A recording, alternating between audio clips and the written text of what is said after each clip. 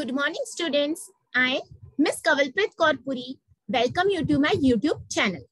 I am from Mumbai and I've completed my master's in business management and I am set and net qualified both in the subject of commerce. तो आज सबको मैं happy mother's day wish कर देती हूँ अगर आप अभी छोटे हैं तो अपनी मम्मियों को प्राउड बनाइए उनको नेट सेट जीआरएफ करके अच्छी सी गिफ्ट दीजिए और अगर आप खुद भी एक मदर है तो प्लीज़ टाइम निकाल के नेट सेट को क्वालिफाई कर लीजिए। जैसे कि आपको पता है, मैंने कम्युनिकेशन के ऊपर अभी तक तीन वीडियोस बनाई है तो आज मैं आपके साथ फोर्थ वीडियो लेके आई हूँ। अगर आपने मेरी स्टार्टिंग की वीडियोस नहीं देखी तो प्लीज़ फ़र्स्ट वीडियो से स्टार्ट कीजिए, क्योंकि उसमें मैंने सिलेबस डिस्कस किया है। और मैं हमेशा ये बोलती हूँ कि कभी भी हम कोई एग्ज़ाम के लिए प्रिपेयर करते हैं तो सबसे पहले हमें सिलेबस को अंडरस्टैंड करना बहुत ज़रूरी रहता है।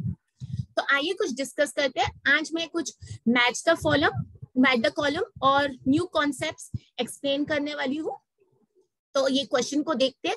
Match the following communication channels with their distinguishing type अब देखिए, जब भी आपके पास मैच द कॉलम के क्वेश्चन आते हैं, आपको सबसे पहले ये देखना रहता है कि क्या कॉलम की कुछ हेडिंग दी है, या उन्होंने हमको टेबल वन या लिस्ट वन या लिस्ट टू में कुछ इन्फॉर्मेशन दी है। तो यहाँ पर जब हम देखते हैं लिस्ट वन में उन्होंने बताया कि कम्युनिकेशन चैनल्स के बारे में बताया जा रहा है और लिस्ट टू हमारे पास है डिस्टिंग टाइप तो ये हमें इजी हो जाता है कि हमें पता है कि हम क्या आंसर ढूँढने वाले तो जब भी हमारे पास मैच का कॉलम है सबसे पहले कॉलम्स को रीड कीजिए और सब ऑप्शन को स्टडी कीजिए। तो देखते हैं लिस्ट वन में हमारे पास है blogging television periodicals collection sites list two में हमारे पास है electronic media print media social media and world wide web अब मैंने हर लेक्चर में रिपीट किया कि आपको कोई भी वर्ड्स जब आप न्यू स्टडी करते सपोज़ यहाँ पर आपको ब्लॉगिंग या पीरियोडिकल्स का मतलब नहीं पता है तो आपको सबसे पहले जानना ज़रूरी है कि ब्लॉगिंग का मतलब क्या है। क्योंकि अगर आप ऐसी स्टडी करेंगे तो आपके एक ही क्वेश्चन में हमारे 20 टू 30 कॉन्सेप्ट्स भी क्लियर हो सकते हैं। और उसी क्वेश्चन को हम 20 टू 30 डिफरेंट टाइप्स में फ्रेम कर सकते हैं। तो अब यहाँ पर मैं आपको बता दू ब्लॉगिंग का मतलब होता है जैसे आजकल फ़ैशन ब्लॉगर्स रहते हैं फ़ूड ब्लॉगर्स रहते हैं। अब जो फ़ूड ब्लॉगर्स रहते हैं, उनको रेस्टोरेंट्स से इनविटेशन आता है और उनको उनके खाने के लिए रिव्यू देना रहता है। तो वो पॉजिटिव रिव्यू अक्सर होता है या नेगेटिव भी हो सकता है बट उनके पास वो चीज़ की नॉलेज है, इसलिए वो उसकी डिस्क्रिप्शन दे तो ब्लॉगिंग एक तरह की डायरी रहती है। जिसको हम अपडेट करते रहते हैं। ठीक है फ़ैशन ब्लॉगिंग जो एक्टर अमिताभ बच्चन जी है, वो भी ब्लॉग करते हैं। तो यहाँ पर ब्लॉगिंग का मतलब हमें समझ आया। अब इस बार यहाँ पर ब्लॉगिंग पूछा है। हो सकता है नेक्स्ट टाइम वो ब्लॉग्स के ऊपर क्वेश्चन पूछे। अब ब्लॉग्स क्या रहते हैं? वीडियो लॉग्स ठीक है तो उसको भी आप स्टडी कीजिए। टेलीविज़न तो हम सबको पता है प्रियोडिकल्स के नाम से ही समझ आ रहा है। प्रियोडिकल्स मतलब जो कुछ रिपीट होता है बार बार तो baby once in two months ऐसा कुछ उसकी फ्रीक्वेंसी रहेगी और कलेक्शन साइज़ अब इलेक्ट्रॉनिक मीडिया हमको पता है प्रिंट मीडिया भी हमें पता है। सोशल मीडिया पर तो हम सब हुक है अभी तो और वर्ल्ड वाइड तो अभी देखते हैं, सबसे इजी वे है इनको सॉल्व करने का मैथ कॉलम कोई भी एक स्टेटमेंट पर आप श्योर हो जाए। ठीक है? या तो आपको टेलीविज़न के बारे में श्योर होना है या ब्लॉग अब जब हम टेलीविज़न का देखते हैं तो इलेक्ट्रॉनिक मीडिया यहाँ पर एक ही है। प्रियोडिकल्स जैसे जर्नल्स मैगजीन्स तो वो प्रिंट मीडिया से मैच हो जाए तो मैं देखू क्या सी और टू कहीं पर मैच हो रहा है? तो quickly come down to the option C and two कहीं पर मैच हो रहा है? यस वो ऑप्शन नंबर फोर में मैच हो रहा है। बट क्या मैं श्योर हूँ? तो हम दूसरा ऑप्शन भी मैच करते हैं। अब मुझे पता है टेलीविज़न टेलीविज़न किससे मैच हो सकता है? इलेक्ट्रॉनिक मीडिया तो बी एंड वन मैच हो रहा है? यस अगेन वो फोर्थ ऑप्शन में मैच हो रहा है। तो अभी हमें कंफर्म हो जाना चाहिए कि फोर्थ ही ऑप्शन करेक्ट है। But don't jump to the conclusion अब हम देखते हैं ब्लॉगिंग का मतलब बोल रहे सोशल मीडिया यस ब्लॉगिंग हम सोशल मीडिया पर करते हैं। टेलीविज़न को मैं मैच करूँ इलेक्ट्रॉनिक मीडिया से। प्रियोडिकल्स को मैं मैच कर रही हूँ प्रिंट मीडिया से और collection sites definitely world wide web पे तो यहाँ पर हंड्रेड परसेंट मेरा क्वेश्चन का आंसर है फोर्थ ऑप्शन तो देखिए, अगर मुझे एक भी वर्ड का मीनिंग नहीं पता था, या मुझे एक वर्ड हमारा कंफर्म स्टेटमेंट मैच हो रही थी तो कितनी इजी मैंने फ्रैक्शन ऑफ़ अ सेकेंड में मैच कर। अब मैं बार बार रिपीट करती हूँ हर लेक्चर में कि नेट सेट में क्वेश्चंस रिपीट नहीं होते कॉन्सेप्ट रिपीट तो नेक्स्ट टाइम ब्लॉगिंग कौन से ऑर्डर में अरेंज किया जाता है? तो हमेशा ब्लॉग जब हम लिखते हैं वो रिवर्स क्रोनोलॉजिकल ऑर्डर होता है। तो आज अगर एथ में है तो सेवंथ में नीचे चला जाएगा एथ में ऊपर आ जाएगा। फिर मैं कल नाइन्थ में को लिखूँगी तो नाइन्थ में सबसे ऊपर है तो उसको बोलते हैं रिवर्स क्रोनोलॉजिकल ऑर्डर तो देखिए, मैंने आपको एक ही कॉन्सेप्ट में कैसे क्वेश्चन फ्रेम होते वो भी बताया। तो यहाँ पर हमारा आंसर है ऑप्शन नंबर फोर नेक्स्ट देख लेते हैं। अब मैं आपको कॉन्सेप्ट समझा रही हूँ, क्योंकि इसी पर मैं बहुत सारे क्वेश्चन बना सकती हूँ। अभी ये जो लास्ट क्वेश्चन मैंने आपसे डिस्कस किया, हमें समझ ही नहीं आता है क्वेश्चन कौन सी कॉन्सेप्ट है। तो टाइप्स ऑफ़ क्वेश्चन हमारे पास अगर हम डिवाइड करते हैं इंटरनल एंड एक्सटर्नल में इंटरनल में हमारे पास है फॉर्मल और इनफॉर्मल जिसको मैं नेक्स्ट स्लाइड्स में डिस्कस करूँगी। फॉर्मल के अंदर अपवर्ड है, जो मैं आपको ऑलरेडी अपने फ़र्स्ट सेशन में समझा चुकी हूँ। अपवर्ड कम्युनिकेशन कब रहती है? डाउनवर्ड कब रहती है? डाउनवर्ड कम्युनिकेशन थी जब हायर अथॉरिटी से लोअर लेवल तक आ रही है इन्फॉर्मेशन और अपवर्ड है जब लोअर लेवल हायर लेवल को कम्युनिकेट कर रहा है। वर्टिकल हम के अंदर ही अपवर्ड और डाउनवर्ड कम्युनिकेशन आता है। हॉरिजेंटल और लेटरल कम्युनिकेशन मैंने आपको बताया था, जब दो individuals working at the same level they communicate with each other example assistant manager of production department is communicating with assistant manager of operations department तो वहाँ पर हमारी हॉरिजॉन्टल कम्युनिकेशन आ जाए। इनफॉर्मल में हमारे पास ग्रेप वाइन है। एक ही टाइप का रहता है इनफॉर्मल के अंदर, ठीक है? उसको डिस्कस करते हैं। और एक्सटर्नल में हम जब भी करते communication with the outside world वो हमें बोला जाएगा एक्सटर्नल तो देखिए, इसी स्लाइड से हम बता सकते हैं कम्युनिकेशन के कितने टाइप से इंटरनल एंड एक्सटर्नल है। इंटरनल के अंदर कितने टाइप से फॉर्मल एंड इनफॉर्मल नेक्स्ट देखिए, अब मैं इसमें डिस्क्रिप्शन बता रही हूँ कि what is formal communication and what is informal communication तो ये बहुत अच्छी स्लाइड से मुझे मिल गया है। मैंने हमेशा सोर्स देती हूँ, कहाँ से मैंने इन्फॉर्मेशन लिए क्योंकि मैं बार बार रिपीट करती हूँ कि हमें कभी भी प्लेजराइज कॉन्टेंट यूज़ नहीं करना है। आप कुछ भी कॉन्टेंट यूज़ करें, उसका सोर्स ज़रूर दीजिए because this is all part of a research and teaching ethics अब देखिए, कौन से बेसिस पर हमने डिवाइड किया? Formal communication origin deliberately structure मतलब प्री डिसाइडेड रहता है। और जब आप ऑर्गेनाइजेशन में काम करते, कोई फॉर्मल मेथड में तो डेफिनेटली ऑलरेडी डिसाइडेड रहता है। इनफॉर्मल कम्युनिकेशन में spontaneous and unstructured on the spot हो सकता है और ज़रूरी नहीं है प्री प्लान अब देखिए, अगर आप कॉलेज में जाते हैं तो वहाँ पर तो आपके लेक्चर्स शेड्यूल होते हैं बट अगर आप यही प्राइवेट ट्यूशन में जाते हैं तो थोड़ा सा कम, हम बोल सकते हैं फॉर्मल रहेगा, क्योंकि वो थोड़ा प्राइवेट सेटअप है ओके नेचर देखते हैं formal communication is well plan already decided हमने प्लान किया हुआ है सिस्टमैटिक रहता है एंड ऑथोराइज मतलब यहाँ पर कोई हमारा अथॉरिटी पर रहता है, कोई हमारे सीनियर रहते हैं, कोई हमको इंस्ट्रक्शंस दे रहे where is under informal communication it is unplanned because first में हमने देखा था it can be spontaneous it can be unsystematic as compare to formal communication and unauthorised मतलब मैं खुद भी डिसाइड कर सकती हूँ नॉट नेसेसरी मेरे ऊपर कोई authority formal communication flows prescribe through a chain of command. जैसे हमने मैनेजमेंट स्टूडेंट है तो आपको पता है, आपने स्टडी किया है हेनरी फ्योल के प्रिंसिपल्स। तो वैसे यहाँ पर चेन ऑफ़ कमांड होती है, आप ब्रेक नहीं कर सकते। जैसे आपको हॉलीडे लेनी है तो आपको अपने पहले डिपार्टमेंट हेड को पूछना पड़ेगा। उसके ऊपर मे बी उसके जो सीनियर है, उनको पूछना पड़ेगा। तो एक पूरा चेन ऑफ़ कमांड है। और इनफॉर्मल में क्या रहता है? Unofficial channels and not prescribe because कोई अथॉरिटी ही नहीं है, कोई फॉर्मल रीजन ही नहीं है हमारे ग्रुप के फॉर्म होने का। फ्लेक्सिबिलिटी फॉर्मल में हमेशा रिजिडिटी रहेगी बिकॉज़ जब भी हम rules regulation well plan structure authority के साथ फॉलो करते हैं तो वहाँ पर थोड़ी रिजिडिटी आ ही जाती है। एंड फ्लेक्सिबल का क्या मतलब रहता है? हमारे पास कोई अथॉरिटी नहीं है, कुछ प्लान नहीं है स्पॉन्टेनियस है तो it becomes flexible authority formal communication yes official channel है, कोई सीनियर्स रहेगा मैनेजमेंट रहेगी अनऑफिशियल रहेगा इनफॉर्मल के अंदर। फॉर्मल कम्युनिकेशन का पर्पस क्या रहेगा? To achieve the business objective yes you all are working towards a common goal हम क्यों ऑफ़िस जा रहे हैं? हम क्यों कॉलेज जा रहे हैं? क्योंकि हम सबका एक गोल है। और इनफॉर्मल कम्युनिकेशन में क्या रह जाएगा? To satisfy your personal needs okay speed में क्या हो जाएगा? फॉर्मल में टाइम लगता है क्योंकि जब भी रूल्स रेगुलेशंस आते हैं परमिशन लेना पड़ता है। Where is informal communication is always fast accuracy accurate legal and authentic yes कभी कुछ प्रॉब्लम हुई तो आप बता सकते हैं कि आपके पास उसका डॉक्यूमेंट प्रूफ है, या वो इन्फॉर्मेशन हमेशा करेक्ट होनी चाहिए, क्योंकि जब आप एक सिस्टम को फॉलो करते एक ऑर्गेनाइजेशन में काम करते आप कोई गलत तरीके से काम नहीं कर सकते। और इनफॉर्मल कम्युनिकेशन जनरली ओरल रहता है, और ओरल जब हम बोलते हैं, उसका कोई प्रूफ नहीं रहता है।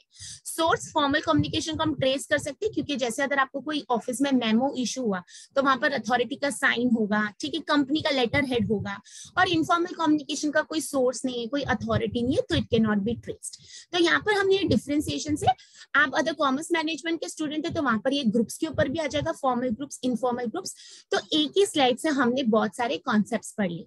अब मैं यहाँ पर कैसे क्वेश्चन बना सकती हूँ? पूछा जा सकता है इनफॉर्मल कम्युनिकेशन फास्ट रहती है या स्लो रहती है? एसर्शन रीजनिंग स्टेटमेंट्स रहती है, जो मैं आपको नेक्स्ट लेक्चर में कराऊँगी, जिसमें इसको कंपैरिजन किया जा सकता है, ठीक है? बताया जा सकता है क्या इनफॉर्मल कोई ग्रुप्स के वजह से बनता है या फिर कोई उनका मेन मोटिव होता है बनाने का? या पूछ सकते हैं कि फॉर्मल कम्युनिकेशन को ज़्यादा टाइम लगता है कि इनफॉर्मल को? ठीक है? या फॉर्मल कम्युनिकेशन का हमारे पास एविडेंस रहता है या इनफॉर्मल तो ऐसे कोई भी बेसिस पर ये क्वेश्चन बन सकता है। हम यहाँ से मैच द कॉलम भी बना सकते हैं एसोशन रीजनिंग भी बना सकते हो स्टेट तो एक बार आपको ये क्लियर है तो हमारा आंसर कभी भी रॉन्ग नहीं जाएगा। नेक्स्ट कॉन्सेप्ट पर देख लेते हैं। ये देखिए, एक ग्रिड की तरह पहले में हम देख रहे हैं इंटरनल एंड फॉर्मल एक्सप्लेन कर रहा है और सेकंड साइड आप देखते तो एक्सटर्नल और फॉर्मल एक्सप्लेन हो रहा है। नीचे हम देखते हैं तो इंटरनल है इनफॉर्मल और एक्सटर्नल है इनफॉर्मल तो let's read it internal and formal it is plan communication among the insiders तो याद रखिए इंटरनल हमेशा insiders such as memos reports email instant messages executive blogs conference calls and presentations that follow the company's chain of command. तो internal है but formal है। ठीक है? तो मतलब रूल्स एंड रेगुलेशन फॉलो करे but within the organization अब मैं अगर एक्सटर्नल की बात करती हूँ external and formal it is plan communication with outsiders definitely external है। अब प्लान क्यों बोल रहे क्योंकि हम फॉर्मल स्टडी करें it can be letters to outsiders report speech website instant messages and new releases advertising and exit तो यहाँ पर आपको क्वेश्चन आ सकता है, कौन सा इसमें से आइडेंटिफाई कीजिए एक्सटर्नल है, कौन सा इंटरनल है, कौन सा फॉर्मल है या कौन सा इनफॉर्मल है। अब इनफॉर्मल इंटरनल देख लेते हैं। कैजुअल कम्युनिकेशन देखिए वर्ड ही यूज़ किया कैजुअल ठीक है, जैसे मैंने आपको कल बताया था, हम पार्टी में जाएँगे तो हमारे कपड़े अलग हो गए। हम अगर ऑफ़िस के इंटरव्यू के लिए जा रहे तो हमारे कपड़े अलग हो गए। तो similarly informal internal is casual communication among employees such as email instant messages face to face conversation phone calls team blogs and wikis that do not follow the company's team informal में कभी भी हम कोई structure नहीं follow करते। But informal internal है तो anything within the organization informal external casual communication with the suppliers अब यहाँ पर इनफॉर्मल में बात हो रही है बट एक्सटर्नल पार्टी से customers investors and other outsiders such as face to face conversations, email, instant messages, phone calls, and customer support. तो यहाँ से भी हमको स्टेटमेंट बेस्ड आ सकता है एक्सटर्नल का मीनिंग पूछा जा सकता है इनफॉर्मल ठीक है? तो ये सारे, बहुत सारे इजी चीज़ें जो हम एक बार कॉन्सेप्ट को स्टडी कर लेंगे तो यहाँ से हम कोई भी क्वेश्चन सॉल्व कर सकते हैं। नेक्स्ट देख लेते हैं वर्बल कम्युनिकेशन के अंडर मैंने आपको ऑलरेडी बताया ओरल और रिटर्न आता है। जब भी हम वर्ड्स यूज़ करते हैं, वहाँ पर वो ओरल बन जाता है। ठीक है? अब ओरल में हम स्पोकन करते हैं और रिटर्न में हम यूज़ करते हैं वर्ड्स जो रिटर्न तो लेटर है। तो verbal is two types, oral and written. Oral and written both uses words. The only difference is oral is spoken and written को हम, जैसे मैंने एग्जांपल दिया था लेटर राइट अब देखिए न्यू एक और कॉन्सेप्ट है जिसपे क्वेश्चंस आते हैं, और अगर हमें वर्ड का मीनिंग नहीं पता होगा तो हम आंसर नहीं ढूंढ पाते। तो synchronous and asynchronous communication ठीक है? अब इसको हमें आईटी की तरफ़ से नहीं पढ़ना, सिर्फ़ कम्युनिकेशन के हिसाब से पढ़ना है। सिंक्रोनस कम्युनिकेशन होती है रियल टाइम ठीक है? अभी जैसे अगर आप मेरे को साथ में आंसर दे रहे नहीं, ऐसा नहीं हो रहा आई एम तो जस्ट रिकॉर्डिंग द वीडियो ठीक है? तो ये रियल टाइम काउंट होगा कि नहीं? आपको मुझे बताना है रिक्वायर्स रेसिपियंस इमीडिएट अटेंशन मतलब मुझे तुरंत फीडबैक आना चाहिए। रियल टाइम बात हो रही है। Example face to face conversation देखिए, जब आप किसी से फेस टू फेस बात करते हैं तो आप रियल टाइम में बात करें आपको उसी टाइम आंसर आ रहा है। आप एक्सप्रेशन देख सकते हैं। फ़ोन होती है वीडियो कॉल्स होती है मीटिंग्स फ़िज़िकल और वर्चुअल जहाँ पर ऑन द स्पॉट आपको आंसर देना है। Chat messaging but real time और एसिंक्रोनस में क्या हो जाएगा? Happens over a period of time मतलब it is not live recipient can respond to the communicator at their own pace तो उसी टाइम हम जवाब देंगे जब हम मैसेज को रीड करेंगे एग्जाम्पल्स ईमेल देखो, मैंने आपको ईमेल सुबह लिखा बट आपने मुझे रिप्लाई रात को किया, ठीक है? बट अगर आप मेरे टाइम रियल टाइम बात करें वीडियो कॉल पर तो क्या हो जाएगा? आप मुझे उसी टाइम आंसर देंगे। तो एग्जाम्पल्स क्या है? एसिंक्रोनस के मैसेज बोर्ड्स फिर dashboards chat messaging which is not real time मैंने आपको मैसेज करके रख दिया seven o'clock in the morning आप seven P M in the evening online है, आपने तब मुझे रिप्लाई तो यहाँ से हम क्वेश्चन फ्रेम करेगी, वो हम देख लेते हैं। देखिए, मैंने सिंपल वे में और भी बताया सिंक्रोनस ए सिंक्रोनस आप एग्ज़ाम्पल समझ लीजिए, आपको गलत कभी भी नहीं जाएगा। सिंक्रोनस में video conferencing live chat live stream video जब आप ऑनलाइन रहते हैं, उसी टाइम आपको उसी टाइम आंसर देना है। एसिंक्रोनस का एग्जांपल है email screencast Flipgrid videos blog post comments जिसको आप बाद में भी। अब जैसे मैं न्यूज़पेपर पढ़ न्यूज़पेपर थोड़ी ना आपसे डिमांड करता है कि आप अभी रिप्लाई करो, ठीक है? तो वहाँ पर आप न्यूज़पेपर सुबह का शाम को भी पढ़ सकते हैं तो वो ए सिंक्रोनाइज हो जाएगा, ठीक है? बट अगर रेडियो पर कोई लाइव चैनल लाइव शो आ रहा है तो उस टाइम आपको कुछ ऑफर्स भी है बीच में कि आप ये वीडियो या रेडियो देख रहे हैं तो आपको रिप्लाई करना है तो वहाँ पर वो सिंक्रोनस हो जाएगा। तो synchronous students learn at the same time ठीक है? सिंक्रोनस ए सिंक्रोनस में students learn at different times synchronous में second statement communication happens in real time मैंने बताया जैसे फेस टू फेस और उसमें ए सिंक्रोनस में कम्युनिकेशन इज़ नॉट लाइक तो यहीं पर आपका कॉन्सेप्ट क्लियर हो जाना चाहिए। सिंक्रोनस में possibly more engaging and effective because आपको तुरंत रिप्लाई आ रहा है। अब आप मुझे सामने बता रहे मैडम, नहीं समझ आया नॉडिंग करे तो तुरंत we get the feedback and asynchronous में possibly more convenient and flexible because आप अपने हिसाब से स्टडी कर सकते हैं। अब मैंने आज वीडियो अपलोड कर दी, आप बोलेगे, आज मदर्स डे है, आज संडे हम नहीं स्टडी करे तो आप बाद में स्टडी कर सकते हैं। Synchronous allows for instant feedback yes आपको तुरंत फीडबैक आ जाएगा। आप ऑन द स्पॉट मुझे मैम क्लैरिफाई कर दीजिए, मुझे कोई डाउट है। बट यहाँ तो क्या, मैं वीडियो रिकॉर्ड करूँ, आप बाद में मुझे पूछेंगे। और asynchronous allow students to work at their own pace तो आप अपनी स्पीड पर स्टडी कर सकते हैं। ठीक है, आजकल बहुत सारे सेल्फ बेस्ड कोर्स होते हैं जो हम आईसीटी और हायर एजुकेशन में स्टडी करें तो यहाँ पर हमको कैसे क्वेश्चंस पूछा जा सकता है? इसमें से आइडेंटिफाई कीजिए कौन सी सिंक्रोनस है या ए सिंक्रोनस या कुछ स्टेटमेंट्स देगी और बताएगी ये सिंक्रोनस की एक्सप्लेनेशन है या नहीं? या इनमें से कौन सा फीचर ए सिंक्रोनस का है? तो एक बार आपकी कॉन्सेप्ट क्लियर हो गए तो आपका कोई भी क्वेश्चन कैसे भी बनेगा आपके टू मार्क्स का नुकसान नहीं होगा। I always repeat NET SET is not a रट्टा examination the more clarity you have about the concepts, it is very easy to qualify not only NetSet but JRF also. Non verbal already मैंने बहुत discuss किया है। इसमें audio signals रहते हैं, जिसको हम सिर्फ़ सुन सकते हैं विजुअल जिसको हम देखते हैं। जैसे मेरे कल की स्लाइड में था facial expression visual traffic signal दिखता है रेलवे सिग्नल दिखता है। Signs printed on carton stripes zebra crossing जहाँ पर भी आप कुछ देख सकते हैं ऑडियो में क्या आ जाएगा? रिंग ऑफ़ द टेलीफोन सिर्फ़ सुन सकते हैं। Calling bell siren buzzer school की छुट्टी हो जाती है कॉलेज की छुट्टी हो जाती है एग्ज़ाम का टाइम खत्म, ये सब हमें पता रहता है। अब आपका क्या फ़र्ज़ बनता है? इन सब स्लाइड्स में से हमको क्या स्टडी करना है? थोड़ी सी इन डेप्थ नॉलेज होनी चाहिए। इसमें से क्वेश्चंस कैसे फ्रेम हो गए आज मैंने आपको टाइप्स ऑफ़ कम्युनिकेशन बताया। तो आप तुरंत जाके ये स्टडी करने के बाद ट्वेंटी क्वेश्चन इस पर सॉल्व कर लीजिए। देखिए इनफॉर्मल में क्या आ रहा है? एक्सटर्नल में क्या आ रहा है? ग्रेप वाइन का मतलब क्या है? या ग्रेप वाइन में कुछ कॉन्सेप्ट है क्या? तो जहाँ पर हम इतना छोटा सा एक टॉपिक हमें लगता है बट उसके अंदर का इन डेप हम स्टडी नहीं करते तो वहीं पर हमारे कॉन्सेप्ट क्लियर नहीं होते। तो यहाँ पर अब नेक्स्ट देख लेते हैं there are number of different types of communication channels ये एक्स्ट्रा फेस टू फेस है। वीडियो कॉन्फ्रेंसिंग अब मैं आपको पूछ सकती हूँ, क्या वीडियो कॉन्फ्रेंसिंग लाइव है? ठीक है, आप उसी टाइम रिप्लाई दे रहे तो यस वो सिंक्रोनस हो जाएगा। ऑडियो कॉन्फ्रेंसिंग में क्या हम देख सकते हैं, क्या सिर्फ़ ऑडियो है? ईमेल से ऊपर क्वेश्चन आ सकता है। पहले क्वेश्चन आते थे, ईमेल का फुल फॉर्म भी आता था। रिटर्न लेटर्स एंड मेमोज क्या रहते हैं? चैट एंड मैसेजेस अब रियल टाइम चैट हो रही है तो वो सिंक्रोनाइज रहेगा। Blogs vlogs formal written document spreadsheet Excel and so on let's move on to the next question. Identify the communication which is valid as documentary evidence from the following.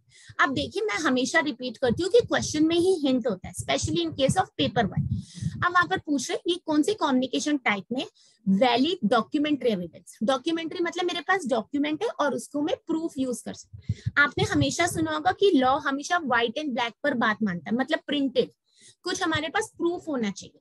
तो अब मैंने आपको थोड़ी देर पहले बताया था कि ओरल कम्युनिकेशन में मेरे पास प्रूफ नहीं है, क्योंकि मैंने बोल दिया, उसके आगे आपके पास क्या प्रूफ है?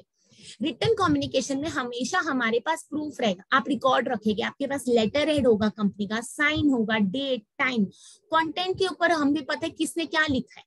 तो यहाँ पर वैलिड डॉक्यूमेंट्री एविडेंस क्या है? Written communication verbal communication has no proof though it is very fast gestural communication मतलब एक्शन बेस्ड बॉडी लैंग्वेज और नॉन वर्बल कम्युनिकेशन में आपको ऑलरेडी समझा चुकी तो अगर आपको क्वेश्चन का मीनिंग समझ आ गया, आपके आंसर को फ्रैक्शन ऑफ़ अ सेकेंड भी नहीं लगेगा। नेक्स्ट देख लेते हैं match the following types of communication with the distinguish example अब देखो क्वेश्चन में क्या पूछा है? हमें टाइप्स ऑफ़ कम्युनिकेशन दिया और उसके एग्ज़ाम्पल दिए। Formal communication informal outward inward ये मैंने अभी आपको एक्सप्लेन किया। Distinguishing government agency circular memos and group chain फिर से मेरी स्ट्रेटेजी क्या मुझे किसी एक का अच्छे से कंफर्म आंसर पता होना चाहिए। तो इनफॉर्मल कम्युनिकेशन का मतलब मुझे पता है क्या? क्या फॉर्मल अब देखते गवर्नमेंट एजेंसीज तो कंपनी के अंदर नहीं होती तो डेफिनेटली वो आउटवर्ड है।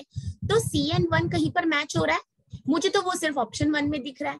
तो I am very sure but अब मैं पढ़ा रही हूँ इतने टाइम से तो मैं क्विकली आंसर कर सकती हूँ बट आपका क्या फ़र्ज़ बनता है? Don't jump to the conclusion सारे ऑप्शन को एक बार मैच कर लीजिए।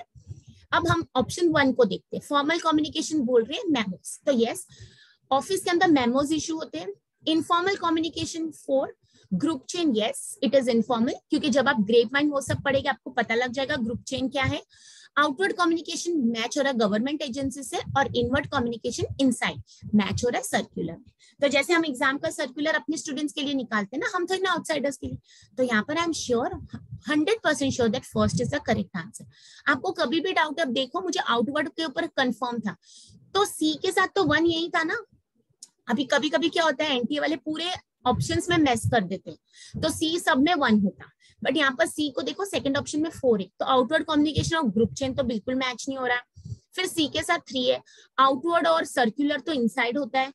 फिर देखते हैं सी के साथ टू मैच हो रहा है तो सर्कुलर वो भी नहीं लग रहा है। तो इसलिए यहाँ पर हंड्रेड परसेंट मेरा first option correct aspects of the voice other than the speech are known as तो कह रहे हैं वॉइस के अलावा। अब देखिए वर्बल कम्युनिकेशन की बात की थी हमने।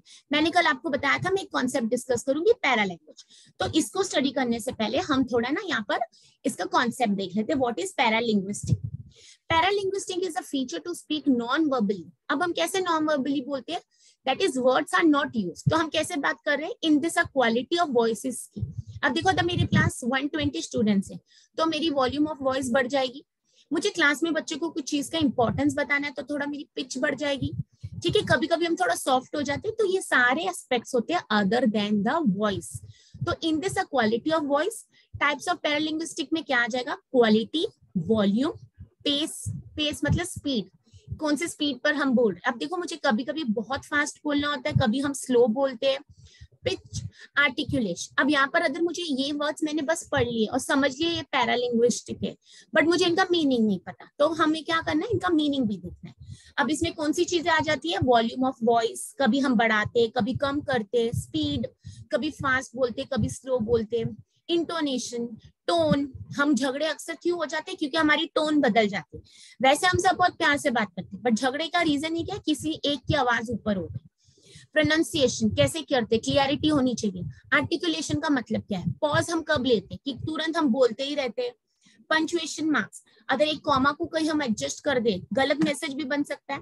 तो देखिए, अगर ये फ़ोटो आपको ब्लर लग रही है तो मैं रीड करके बता देती हूँ। समरी बता वॉल्यूम में लाउडनेस और सॉफ्टनेस ऑफ़ द वॉइस आप कब लाउड बात करते कब सॉफ्ट करते speed of the voice the pace which something is spoken ठीक है? फास्ट बोल रहे स्लो बोल रहे इंटोनेशन का मतलब rise and fall in voice कभी हम थोड़ा ऊपर करते, आवाज़ को कभी थोड़ा नीचे करते। Tone of voice feeling sided wise speaking आप रो रहे हैं तो आपकी आवाज़ अलग आएगी। आप एक्साइटमेंट में आवाज़ अलग आएगी, गुस्से में आवाज़ अलग आएगी। Pronunciation the manner in which a word is uttered ठीक है, ये जो हम प्रोनाउंसिएशन बोलते हैं, उसी को हम प्रोनाउंसिएशन बोलते हैं, जो सबसे गलत बोलते हैं हम। ठीक है? आर्टिकुलेशन मतलब क्लैरिटी इन द वॉइस हम कितने अच्छे से मैसेज को एक्सप्रेस कर रहे हैं। अब जैसे कुछ लोगों ने मुझे बोला मैम आप इंग्लिश में भी वीडियोस बनाइए। बट मुझे पता है मैक्सिमम को मुझे टारगेट करना है तो हिंदी। यस yes, कुछ ऐसे स्टेट्स है जहाँ पर शायद हिंदी नहीं आती हो ठीक है? तो वहाँ पर मेरा मैसेज कितना भी क्लियर होगा नहीं समझ आएगा because the language becomes a barrier pause a break taken while speaking हमें कब कॉमा लगाना है? कब पॉज लेना है? क्या आप कंटिन्यूस बोलते देखो, आप झगड़ा करते हो रिक्वेस्ट तब भी पॉज लेते हैं। Punctuation marks the use of conventional symbols and spacing in communication जो रिटर्न में बहुत इंपॉर्टेंट है। तो अगर मैं यहाँ पर देखू, अभी क्वेश्चन क्या पूछा है? Aspects of the voice other than the speech तो 100 परसेंट ये डेफिनेशन है पैरा लैंग्वेज की। तो देखो अगर आपको कॉन्सेप्ट क्लियर होता तो आपको आंसर को तो टाइम लगता ही नहीं। डिलीवरी लैंग्वेज कुछ होता ही नहीं। फ़िज़िकल लैंग्वेज कुछ है ही नहीं यहाँ पर पर्सनल कुछ होता नहीं मतलब यहाँ पर वो रिलेटेड नहीं है।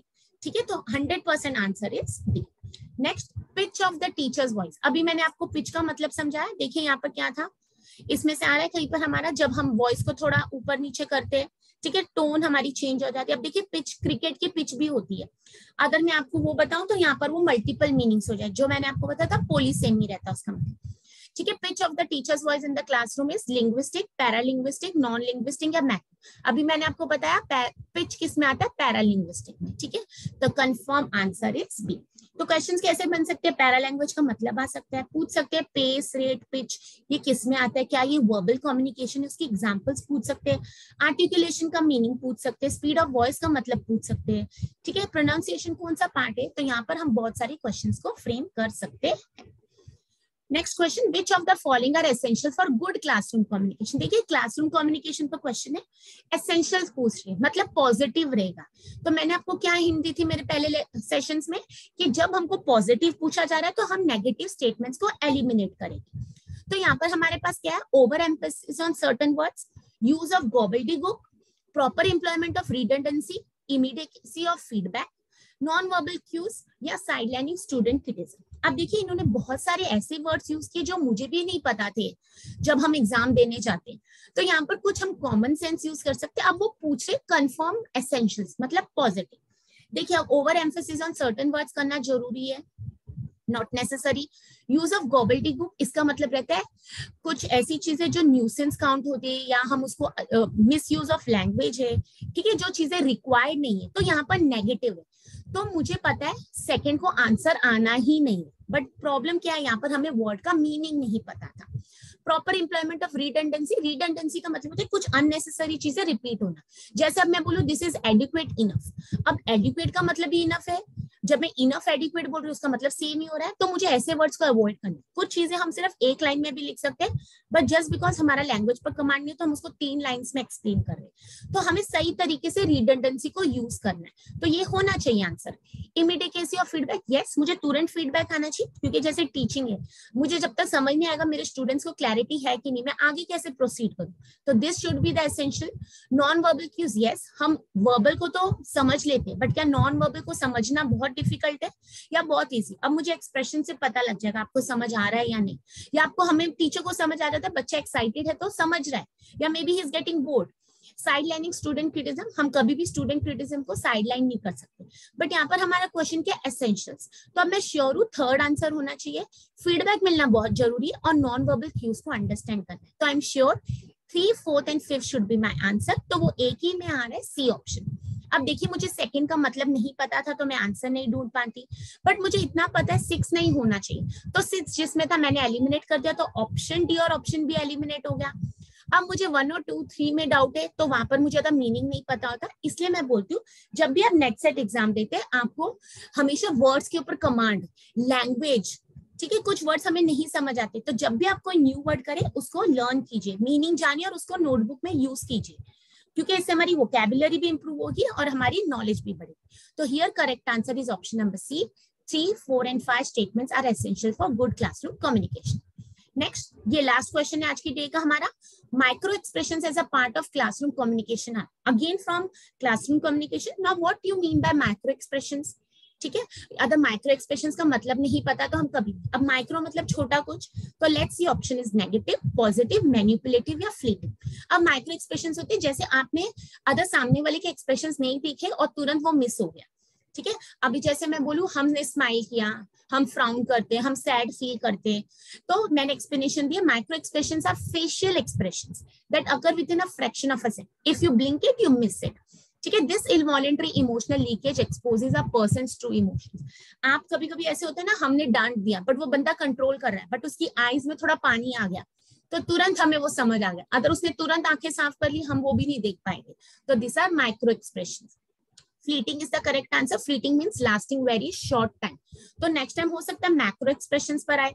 तो जब आपने माइक्रो पढ़ा तो आपका फ़र्ज़ बनता है, आप जाके मैक्रो एक्सप्रेशन को भी स्टडी तो here correct answer is D मैंने माइक्रो में एक्सप्रेशन का भी मीनिंग दे दिया और फ्लीटिंग का भी एग्ज़ाम्पल क्या रहता है? जो अगर तुरंत मिस हो जाएगा lasting for a very short time तो यहाँ पर करेक्ट आंसर इज़ डी तो आज मैंने बहुत सारी कॉन्सेप्ट्स आपको एक ही स्लाइड्स में समझाए। मैंने कुछ ट्वेंटी कॉन्सेप्ट आपको समझा दीजिएगा अब मैंने अगर आपको आज कॉन्सेप्ट ज़्यादा फोकस किए क्वेश्चंस पर तो आप ये देख सकते हैं कि उसी कॉन्सेप्ट से हम कैसे क्वेश्चन सॉल्व कर सकते हैं। तो I hope you are liking my videos अगर आपको अच्छा लग रहा है तो प्लीज़ मेरे चैनल को सब्सक्राइब कीजिए लाइक कीजिए शेयर कीजिए और हमारे 2022 के नेट के फॉर्म्स आउट आ जाइए।